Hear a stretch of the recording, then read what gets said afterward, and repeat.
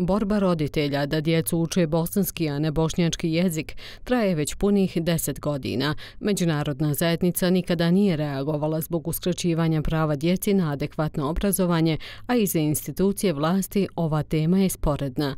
Džemil Mustafić, povratnik u selo Rašljeva, ima troje djeci. Jedan je od brojnih roditelja koji se borio i pred zgradom OHR-a još 2013. godine da im djece imaju pravo na bosanski jezik.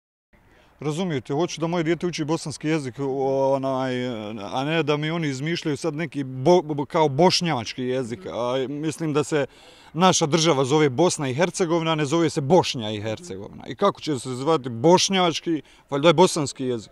Mislim da je glupost, ali su krivi dosta naši političari što su ovo uradili. Djeca već deset godina nastavu pohađaju u improvizovanom objektu u Novoj Kasabi prema planu i programu kantona Sarajevo. Džemil je zbog toga ostao bez dječijeg doplatka u iznosu od 750 konvertibilnih maraka.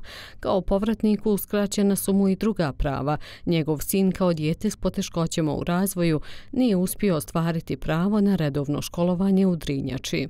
Kad sam onaj išao dole u u školu sa ovim e, doktorom Jugoslavom Gavrićem i njegovom e, ženom e, Danicom Gavrić da molimo direktora da ga primi u osnovnu školu ovde u, u, ovu, kako se zove, nije Konjević polje, nego Drinjaču.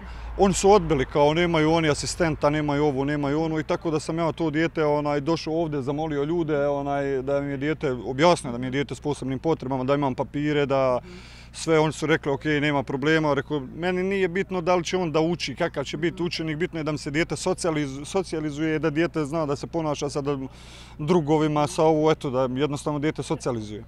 Borba roditelja za pravo njihove djece traje više od 10 godina. Bošnjačka djeca u manjem bosansko-hercegovačkom entitetu u školama ne mogu učiti bosanski jezik, a za one koji se odvaže pridružiti nastavi u improvizovanim objektima slijedi uskraćivanje ostalih prava.